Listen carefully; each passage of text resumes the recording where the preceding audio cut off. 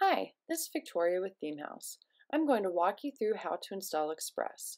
After you've uploaded the necessary components, the first step is to activate the WordPress plugin. In WordPress, navigate to Plugins and choose Activate under XPress. If you would like to use the XPress theme, navigate to Appearance, then Themes, and choose Activate for the XPress theme. Next in XenForo, go to Add-ons to install Xlink and XPress. It is important to install Xlink first and then XPress. Choose Install next to Xlink.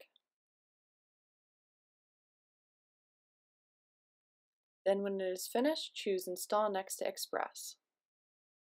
Once they are both installed, you can create a platform link.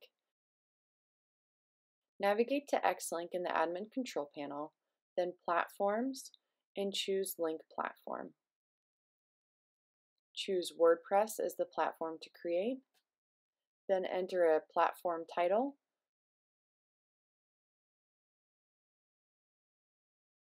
Make sure the disk path is correct or enter it.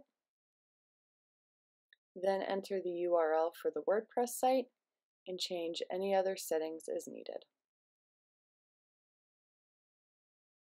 When you are done, choose Save.